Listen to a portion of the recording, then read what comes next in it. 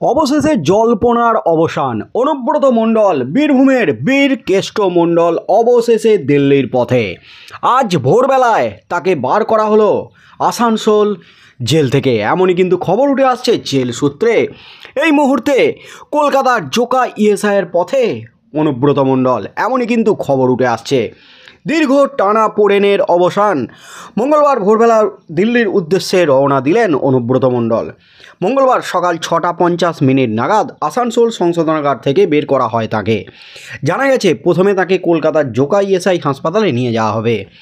এরপরে সেখান থেকে স্বাস্থ্য পরীক্ষার পর তারপরে দিল্লির উদ্দেশ্যে বেরিয়ে যাবেন তিনি। গরু পাচারকাণ্ডে অভিযুক্ত বীরভূম জেলার তৃণমূল কংগ্রেসের জেলা সভাপতি অনুব্রত মণ্ডলকে আসানসোল সংশোধনাগার থেকে নিয়ে দিল্লির উদ্দেশ্যে সকাল সকাল রওনা হয়ে গেল আসানসোল সংশোধনাগার কর্তৃপক্ষ। এনফোর্সমেন্ট ডিরেক্টরেটের করা মামলায় অনুব্রত মণ্ডলকে দিল্লির রাউস এভিনিউ আদালতে হাজির করানোর জন্য প্রায় দু মাসের বেশি সময় ধরে অনেক রকম আইনি জটিলতা লক্ষ্য করা যায়।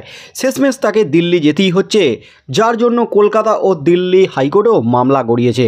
উচ্চ আদালতের রায়দানের পরেও বিভিন্ন আইনি জটিলতা দেখা গেছে।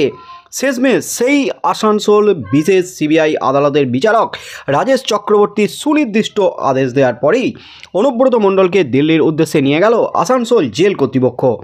তার দেহরক্ষী সাইগাল হোসেন ও গরু পাচারের মূল অভিযুক্ত এনামুল হক দিল্লিতে আগে থেকেই রয়েছে এই একই মামলায়। মনে করা হচ্ছে, ইডি অনুব্রত মণ্ডলকে নিজেদের হেফাজতে নিয়ে তাদেরকে মুখোমুখি বসিয়ে বিভিন্ন তথ্যের সন্ধান করবে। অন্যদিকে, সিবিআই অনুব্রত মণ্ডলের বিরুদ্ধে বিভিন্ন যে তথ্য জোগাড় করেছে তা ইতিমধ্যেই আসানসোল সিবিআই আদালতে জমা দিয়েছে তারা। সেই তথ্য যথেষ্ট কাজে লাগবে তাদের। অনুব্রত মণ্ডলকে নিয়ে যাওয়ার জন্য আসানসোল কারাগার কর্তৃপক্ষের পক্ষ থেকে একজন কন্ট্রোলার কিষাণু গাঙ্গুলি ও তার সহযোগী গিয়েছেন। তাকে নিরাপত্তা দেবে আসানসোল দুর্গাপুর পুলিশের একজন ইন্সপেক্টর তিনজন সাব ইন্সপেক্টর ও বারো জন সশস্ত্র পুলিশ বাহিনী। একই সঙ্গে থাকবে দুটি পাইলট গাড়ি, একটি কনভয়ের সামনে, অন্যটি পিছনে। একটি অ্যাম্বুলেন্স আসানসোল জেলা হাসপাতালের থেকে সঙ্গে এসেছে। জেলা হাসপাতালের একজন ফিজিশিয়ান চিকিৎসক অমিয় সিন্ধু দাস ও তার একজন সহযোগীও রয়েছেন কনভয়ে। জানা গেছে, বিজেপি গোবর জল দিয়ে শুদ্ধিকরণ করবে আসানসোল সংশোধনাগার চত্বর। জেলের কন্ট্রোলার অনুব্রত মণ্ডলকে প্রথমে জোকা ইএসআই হাসপাতালে চিকিৎসা করাবেন। সেখান থেকে ফিট সার্টিফিকেট সংগ্রহ করবেন। তারপর এনফোর্সমেন্ট ডিরেক্টরেটের হাতে অনুব্রত মণ্ডলকে তুলে দেবেন তারা। কলকাতা হাইকোর্টের নির্দেশ অনুসারে একজন চিকিৎসককে সঙ্গে নিয়ে ইডি অনুব্রত মণ্ডলকে আজ মঙ্গলবার আকাশপথে দিল্লির উদ্দেশ্যে রওনা হয়ে যাবে।